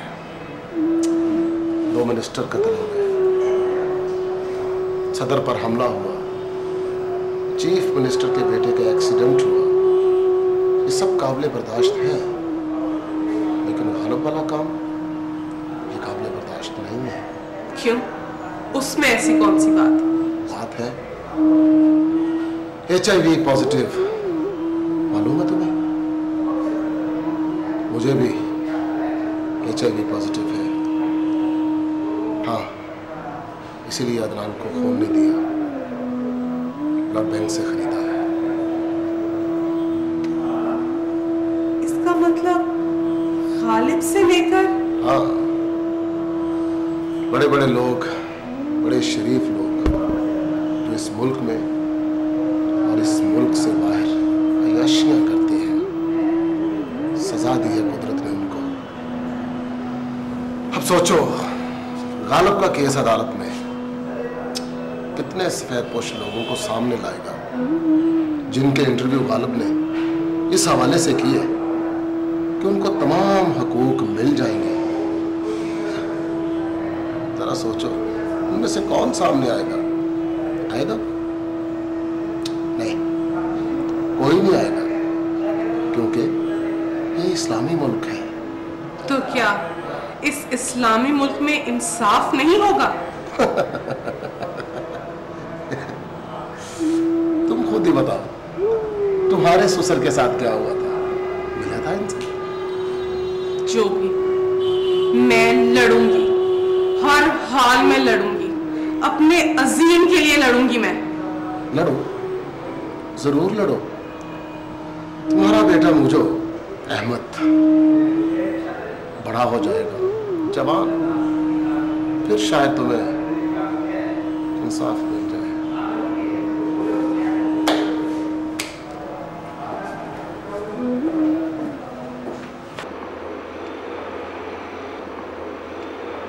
फरहान सही पापा जलाल अली बात करता हूँ।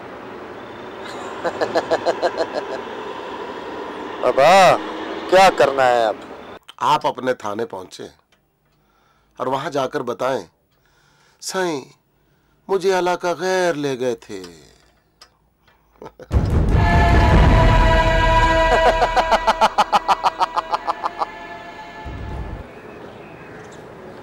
एफआईआर की कॉपी मिल गई है। गुड। क्या लिखा है इसमें अगवा कत्ल। मगर यहाँ तो अगवा जलाल अली का और कत्ल गुलफार शहजाद का है जो मिनिस्टर था। क्या? मगर फरहान ने तो कहा था कि अली के कत्ल के जुर्म में। मगर यहाँ तो ज़ोर दहशत गर्दी पर है। अब क्या होगा? कुछ नहीं हमें लड़ना होगा इंसाफ के लिए। चलो चलते हैं।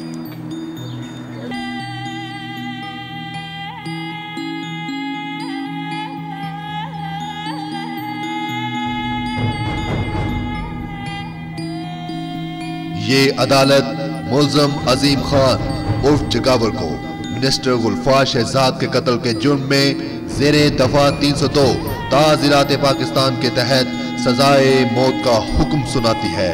To be hang till death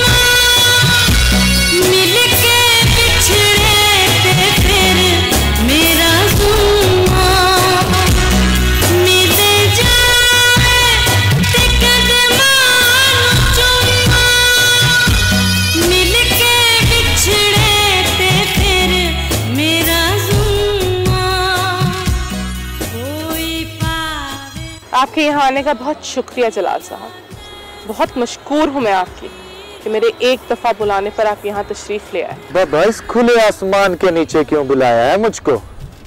किसी होटल में बुला लेती तो दो कप चाय हो जाती तुम्हारे साथ।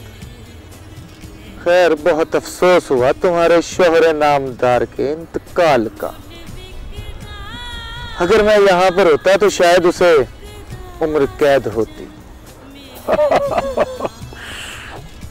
वैसे भी मरहूम बड़ा नेक बंदा था। और फिर कत्ल भी तो मिनिस्टर का था ना। ये मोबाइल याद है तुम्हें रशीद अहमद उर्फ़ हीरो? मेरा कारोबार मोबाइल ज़रूर है मगर मोबाइल का नहीं वकील साहबा। तुमने तो जरा शुरू कर दी वकील साहबा। केस का फैसला तो हो चुका। हाँ फैसला तो हो चुका। मेरे अजीम को फांसी हो गई। ससुर को दिल का दौरा पड़ गया। और गुड़िया?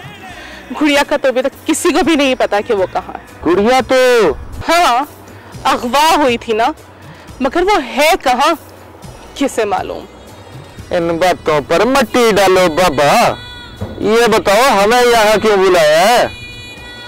मुझे हैरत इस बात की है कि तुम जैसा आदमी मेरे एक फ़ोन करने पर यहाँ आ कैसे गया? असल में बात ये है, तुम जवान हो, वकील हो बेवा हो, ताज़ा ताज़ा। इस्लाम में चार की गुंजाइश है। मैंने तो सोच लिया तुम्हारे बारे में। वो कहते हैं ना, खूब गुजरेगी मिल बैठेंगे, दीवाने तो।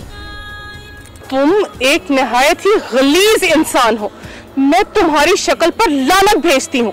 बस बस जरा कैंडे में अपनी ज़ुबान को लगाम दो और ज़ुबान संभाल के बात करो।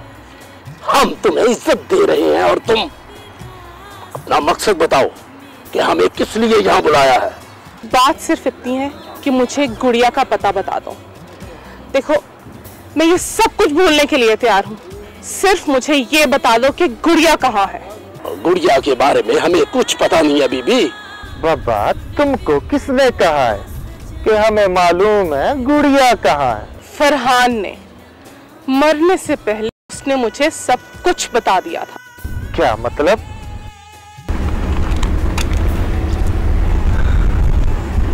पापा तुमको मालूम नहीं शायद कि मैं कानून का मुहाफिज हूँ।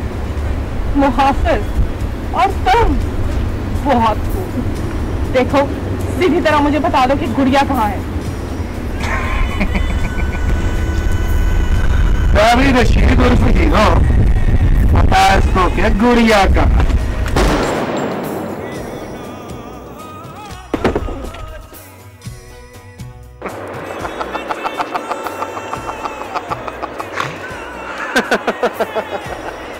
चला गया तुम्हारी गुड़िया के पास ये भी। तुमसे तीसरी शादी करूँगा।